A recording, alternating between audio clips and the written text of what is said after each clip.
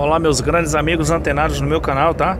Você que é visitante, seja muito bem-vindo. Conto com seu like e sua inscrição, favorecendo o crescimento ainda mais do meu canal.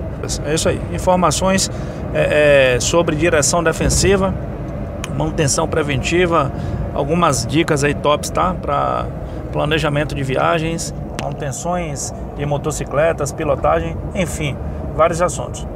Eu queria mostrar a vocês o seguinte, evidenciar que o interessante é você analisar sempre que alguém está vindo do seu sentido oposto, fazendo ultrapassagem, já olhe já para o seu retrovisor, para você ter uma ideia do que está acontecendo na sua retaguarda.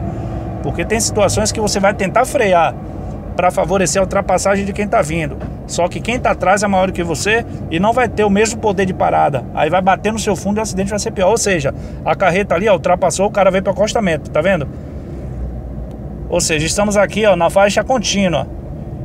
Até onde eu sei, a ultrapassagem para ser caracterizada correta, ela tem que iniciar e terminar na faixa tracejada.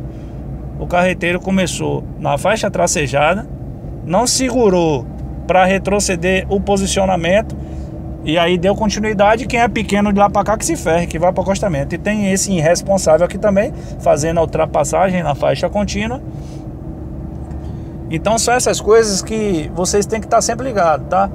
Da forma que não aconteceu acidente nenhum, aí graças a Deus não aconteceu, poderia acontecer. Agora eu vou provar a vocês que a maior idiotice do mundo é se expor sem necessidade.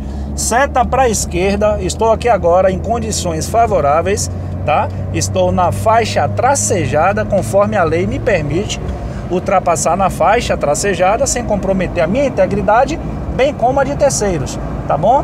Não vou fazer a ultrapassagem forçada, eu poderia muito bem ir, eu estou mais rápido do que o carreteiro, mas para minimizar toda a possibilidade de acidente, eu venho para aqui, ó, para o meu lado, normal, olha lá, o cara indo para o acostamento, tá vendo?